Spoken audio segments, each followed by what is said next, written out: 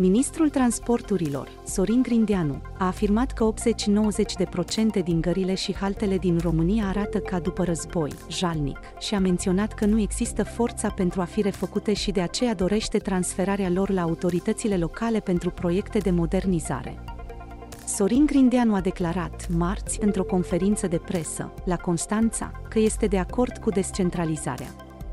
Eu sunt de acord cu descentralizare și suntem de acord și acest lucru îl avem dacă vreți ca și țintă.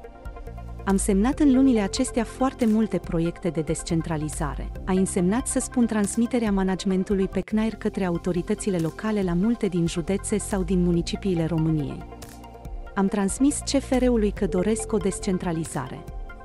Cred că o să se supere pe mine directorul Simu de la CFR Infrastructură, dar în acest moment tot ceea ce înseamnă gării, halte în România, cred că într-o proporție de 80-90% arată ca după război.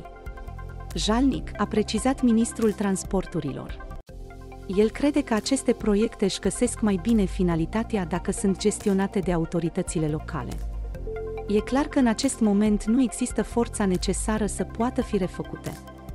De asemenea, le transmitem către autoritățile locale. Toate proiectele care stau în picioare. Eu provin din administrația locală, am fost viceprimar la Timișoara și președintele Consiliul Județean Timiș, deci știu că multe din aceste proiecte își găsesc finalitatea mai bine dacă sunt gestionate de autoritățile locale, a mai declarat Sorin Grindeanu. Articolul de mai sus este destinat exclusiv informării dumneavoastră personale. Dacă reprezentați o instituție media sau o companie și doriți un acord pentru republicarea articolelor noastre, vă rugăm să ne trimiteți un mail pe adresa abonamenteneus.ro.